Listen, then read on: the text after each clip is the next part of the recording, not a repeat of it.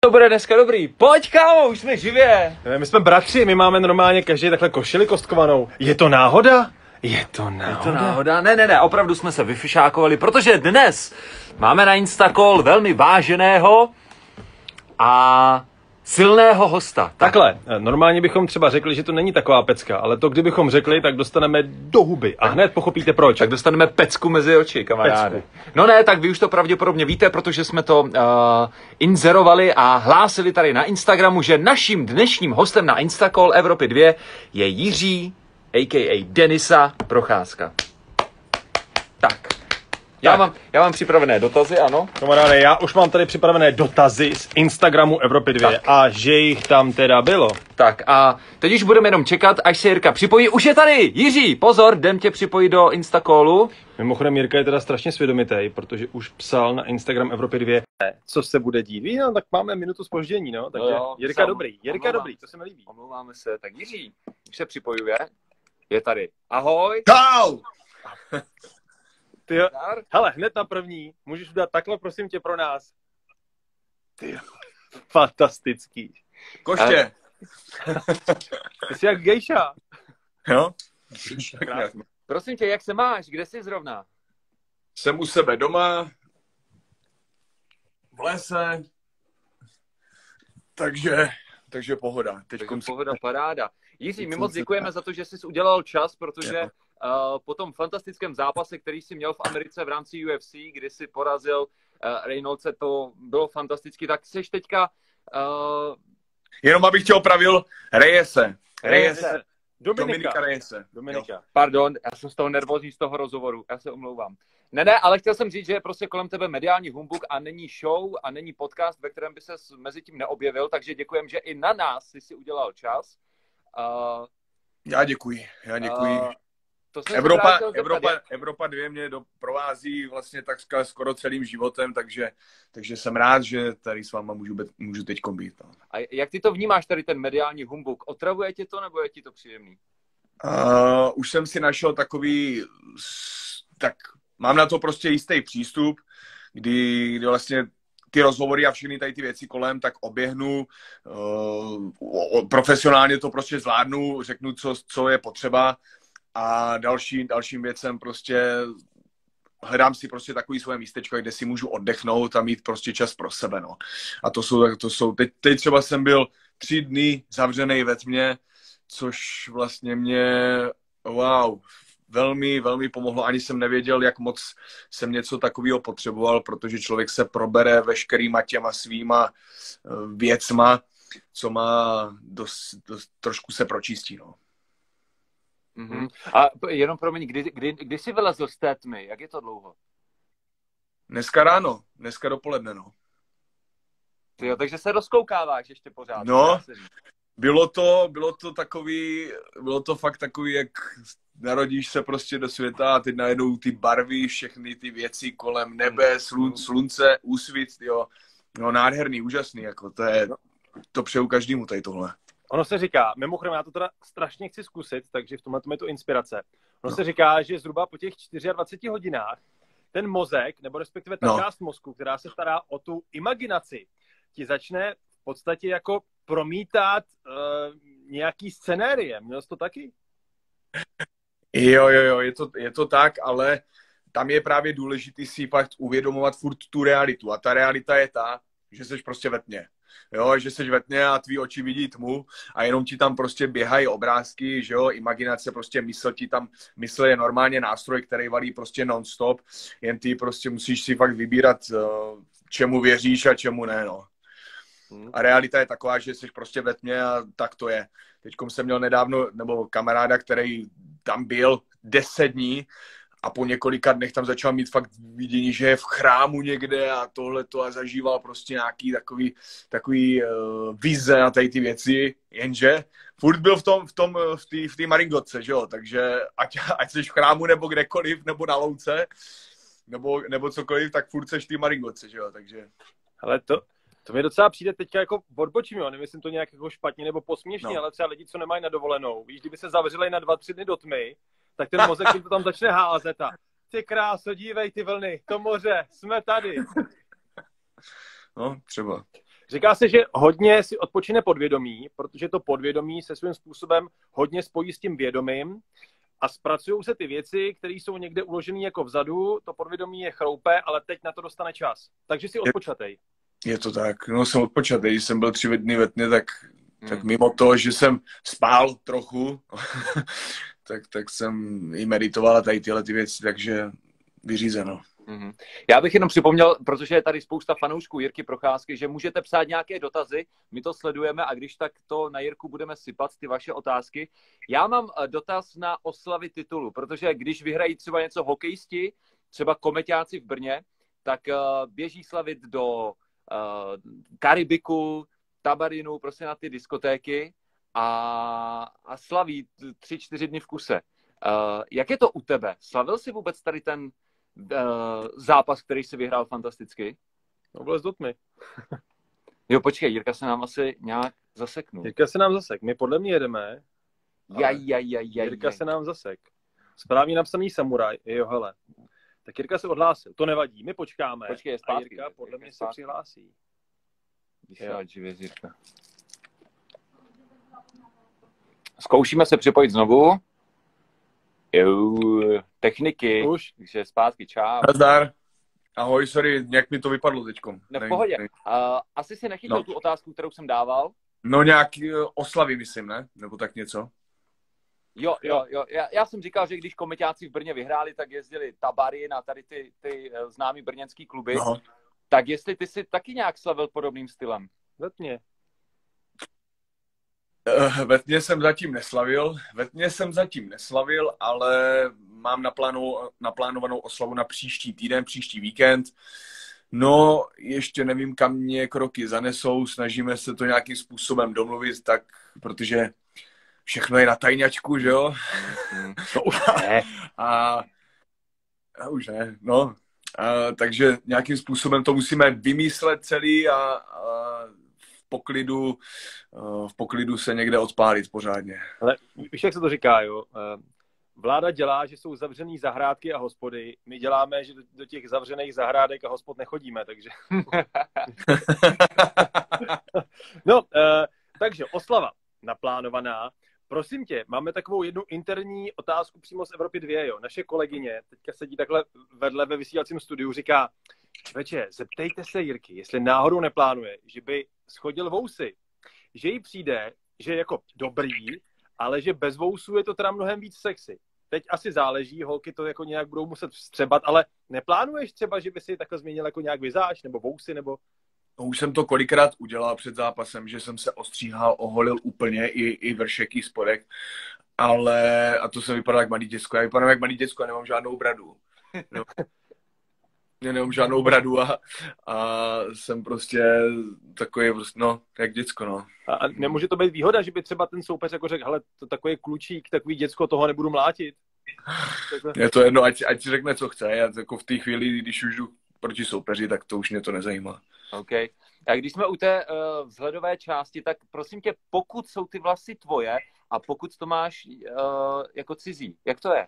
Moje vlasy jsou tady po ten první, po tu první gumičku. Jo, vidím. Po tu letu. Jo, a na to jsou navázaný ta syntetika. Ale zítra už si to jdu rozdělávat a určitě si to nechám dorůst tak, abych měl tohle, to, co tady vidíš, tak abych to měl celý svý, no.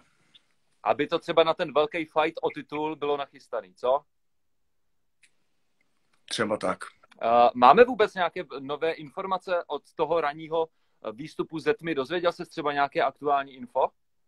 Uh, tak informaci tam mám takovou novou, že Dana White by se nebránil tomu, kdyby titul, uh, jelikož vlastně jsme tam teď tři slovanští borci, že jo, blízko, blízko té, té titulové šanci. Uh, jestliže, uh, jestliže zvítězí Blachovič proti Texerovi, teď v zápase, kterého čeká, který ho čeká, tak následný titulový souboj by se, uh, Dana White říkal, že by se nebránil, aby se podnikl někde v Evropě. Mluvili o, konkrétně o Polsku, a, ale i tak by to byla prostě velká senzace, no. Ty vole, to bychom jeli, kámo, se podívat. Do Polska. Vítězství.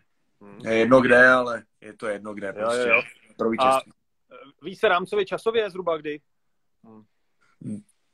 děj se. Zápas uh, Tekšejra Blachovič má být v září, někdy na začátku září, takže typuju, že do, třeba do, do konce roku by to mohlo být. No. Ale ještě nevíme, jak se věci vyvinou, Nech, ať nezaře, nezakřikneme ten zápas, protože nechci podceňovat i Texeiru, byť je dobrý zápasník mm. a hlavně uh, hlavně hlavně já tam budu teď jako náhradník, nebo teď se jedná o tom, že bych měl být jako náhradník do zápasu Texeira Blachovič, takže by, možná jestli budou v pořádku a budou zdraví do zápasu, tak tam nenastoupím, jestli, jestli jeden z nich vypadne, tak bych tam měl nastoupit já.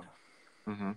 Myslím si, že tady je hezký vzkaz, který bychom mohli uh, říct. Gábor 14 tady píše, můj syn 10 roků tě hodně obdivuje a říká mi, že tě moc zdraví, jmenuje se Štěpík.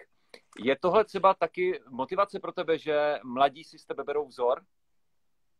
Čau Štěpíku.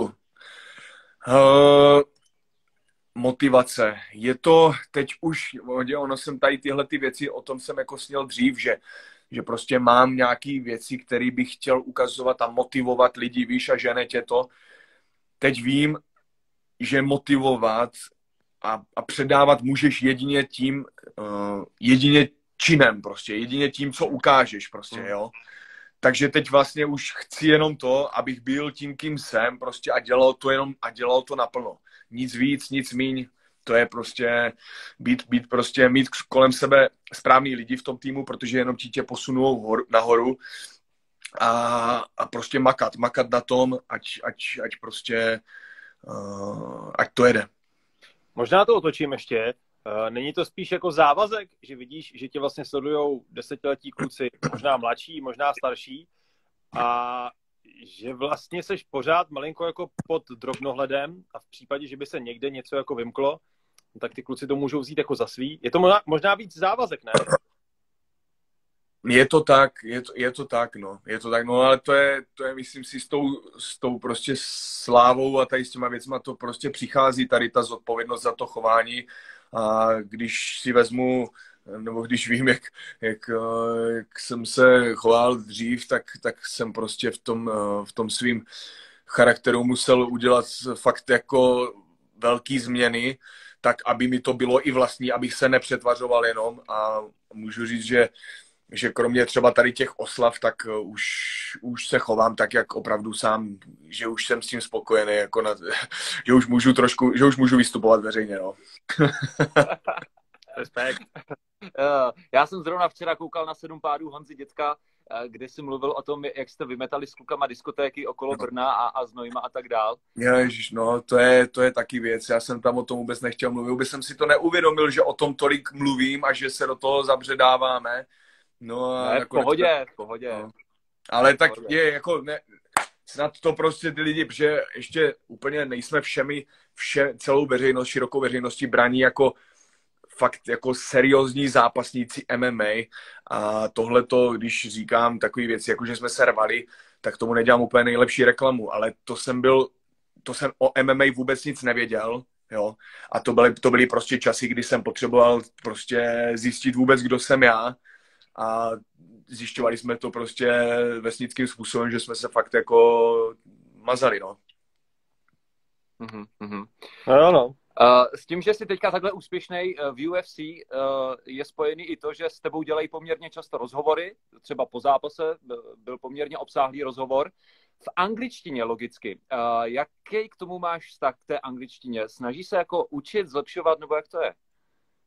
Makám na tom. Makám na tom teď posledního půl roku, co jsem měl tu přípravu na Dominika, tak, eh, tak jsem šprechtil vlastně s mým partnerem Language Agency, který mě zajišťuje tady tyhle ty online lekce, tak minimálně jednou, dvakrát týdně furt jedu online rozhovory, snažím se ty filmy pouštět v angličtině a pochytávat, no, ty slovíčka, jako drtím to, drtím to, ať, ať prostě, ať se můžu, ať nejsem jenom prostě fakt uh, zápasník, Jasně. Hmm, no, ale ať, ať prostě můžu být na všech úrovních. No. Do toho studuji ještě masárnu, teď mě Masarykovou univerzitu, sport, fakultu sportovních studií a dodělávám bakalářskou, bakalářku teďkom a státnice, takže to bude taky ještě halo. Tyjo. Myslel jsem si, že si trošku odpočnu teď po zápase a, a mám toho no, z mého pohledu ta angličtina se zlepšuje, takže jdeš dobrou cestou a palec nahoru, kamaráde. Dě, děkuji, i, to, i, to i tvoje. Řekni, jo, to mi schválně řekni. Nějaký fight, anebo státnice?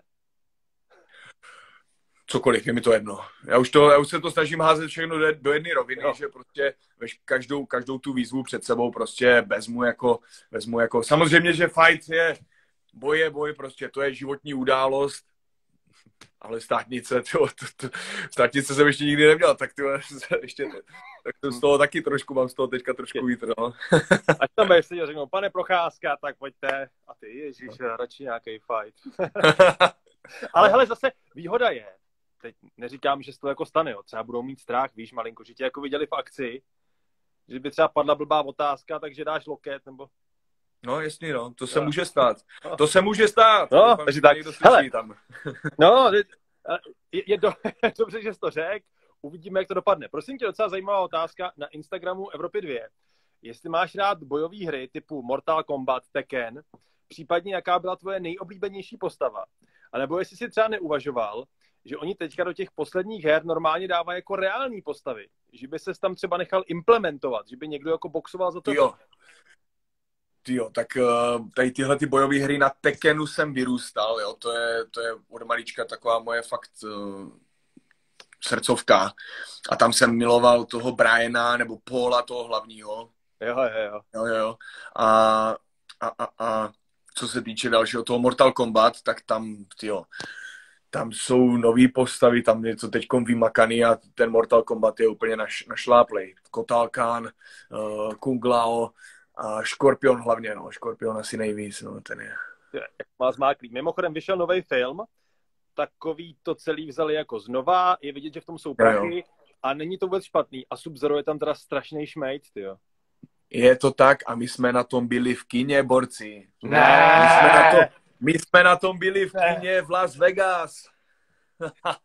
tak to je závis, to kamaráde, to je závis. Jakože po, po jak dlouhé době jsme šli do kina, říkám trenéři, trenérům prostě a manažerovi tam, co jsme byli borci, musíme jít do kina, protože Mortal Kombat a tady to fakt dávají. Zrovna v té do, v době, kdy prostě, prostě náhod, krásně se to sešlo, jsme před zápasem a jsme tam dva týdny před zápasem, máme čas, trošku volněji, kina jsou tam otevřený, tak jsme tam na to šli, no.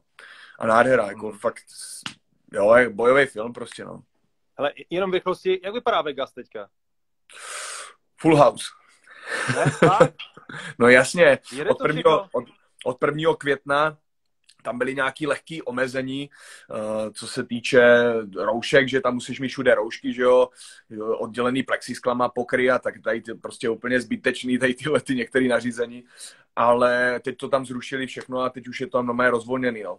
Mm-hmm. Dobře, super, super. Hustý, uh, my jsme teda hudební rádio, tak samozřejmě nás zajímá, co teď zrovna eh, Jirka Procházka poslouchá. Máš něco oblíbeného? Mám něco oblíbeného. Tyjo, abych, abych možná i nahraju, uh, možná, je, já nevím, jestli to, jestli to tam můžete hrát, protože to jsem byl trošku naštvaný, jako, že občas uděláte to, že někdo vám tam řekne nějakou písničku a vy řeknete, no, no ale my ji tady nemáme teďkom, nemůžeme ji zahrát, tak sakra, ne. No, a dívej se. Říká, my, my tě vůbec ty neslyšíme. Já, mě to teď taky vypadlo, no.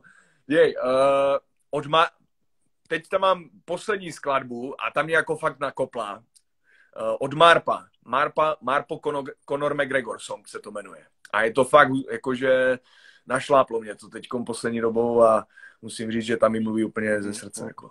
Jestli ji můžete zahrát, tak ji tak... zahrajte, jestli ne, tak my ti slibujeme, my ti slibujeme, že dneska to zahrajeme, jdeme za 10 minut vysílat a v průběhu toho vysílání to určitě zahrajeme. A ještě jsme si říkali, jestli náhodou není teďka tvou oblíbenou skladbou od Ektora Loket z okna. Loket z okna. Ne, jo, jako děj se. Loket z okna dobrý, ale má taky dobrý song. Teď tady, myslím, se to jmenuje. A ten, je, ten, hmm. ten nemá chybu, ten je taky krásný. OK, takže baví tě vlastně tady ta hibopová scéna česká. Já, borci, neposlouchám to jako nějak, že bych poslouchal všechny písničky, ale když tam vytrhnu pár těch songů, tak mě baví. Baví mě to prostě. Uh, občas ty slova tam umějí poskládat fakt libově, že, že, si to, že si to rád poslechnu. OK. To je docela dobrá otázka od Denny 1916. Jestli se někdy díváš na svoje starší zápasy jestli máš nějaký oblíbený. Teď to Denny asi nemyslí tak, že by si z toho, víš, jako elektronickou tuškou něco no. jako bral, ale spíš, že se jako podíváš, jak jsi dobrý. Víš, jak ti, jak ti to jako šlo? Ani, ani ne tak uh, kvůli tomu, že bych měl nějaký oblíbený. To se mě můžete zeptat, až, až přímo to zápasení nechám. Mm-hmm. Tak pak si řeknu, tak tenhle ten je můj oblíbený, to jsem zrovna dělat, nebo jo. Ale teď se na ty zápasy, protože tohle to si zakazuju, jako mít tam nějak něco oblíbeného nebo neoblíbeného. Prostě teď, si, teď to studuju ty zápasy tak, že se na to podívám zpětně a řeknu si, OK, tady bylo tohle dobře, tohle špatně, ať prostě z toho můžu maximálně jenom vytěžit, nic jiného. Jako mít něco oblíbeného nebo neoblíbeného je špatně v bojových umění. Mm-hmm. Já jsem protože, dokonce... protože je, je potřeba mít všech, je potřeba mít veškerou tu škálu těch všech těch technik i přístupů jo, k dispozici a umět je použít ve správný čas. Nic oblíbeného ani neoblíbeného nesmí být. No. Mm-hmm. Takhle Dokonce jsem viděl na videu, si říkal, že tady na ten poslední zápas, kde jsem se spodíval jednou a už víckrát ne. Na ten jsem se podíval jednou po zápase hnedka a pak jsem to neviděl. Pak mě to pouštěl znova kamarád. No a bylo to hrozný. Bylo jako hrozný, protože s tím očekáváním, co jsem si myslel, že jsem tam předvedl, tak jsem předvedl úplně zase jinak, něco jiného. A pak jsem, pak jsem si to pomale prostudoval, ten zápas. Tak už, už k tomu nejsem zase tak skeptický. Hlavní, co je, vítězství a dodrželi jsme alespoň tři čtvrtě jsme dodrželi prostě to, co jsem si zadal se svým týmem a za to jsem rád. Mm-hmm. Super. Ještě než skončíme, jedna otázka, taky z Instagramu Evropy 2, to my bychom si nedovolili. Jak jsi v té tmě chodil na záchod? Borci, tam jsou, tam je záchod normálně. Tam je záchod, sprcha, máš tam, uh, máš tam vlastně postel a tady tyhle, všechny tady tyhle ty věci tam jsou ale ty, se, ty si to prvně zčekuješ, ten, ten prostor předtím, než si zhasneš, sám si zhasneš, hmm. zavřeš si, pak ti tam borec nosí dvakrát denní jídlo, nebo, nebo podle toho, jak chceš, jestli nechceš jíst, tak nemusíš, jo. A, no, takhle to tam je, tam je záchod normálně, on, on ho vždycky po tobě vyčistí, tam je taková předsíň, tam je taková předsíň, a ty do té předsíně tam máš ten záchod, tam si jdeš na záchod, v pohodě všechno, pak si jdeš třeba do sprchy nebo něco a on tam chodí to vždycky očekovat, vyčistit a přinést jídlo a tady tyhle ty věci. Tmaléčí CZ. OK. Borče, děkujeme za tvůj čas, moc si toho vážíme. Uh, už tě nebudeme zdržovat. Jdeme do vysílání. Slibujeme, že Marpa ti zahrajeme na tvoji počest. Uh, Děkuji. Gratulujeme k úspěchům, držíme palce, ať uh, klapne ten zápas o titul a hlavně, ať je tam to vítězství a Vždycky. Jedem, borci. Děkuji. Tak Kdybys byl někdy na týmu, normálně napiš, my ti něco zahrajeme a slibujeme, že se nebudeme vymlouvat, jo? tak ahoj, čau.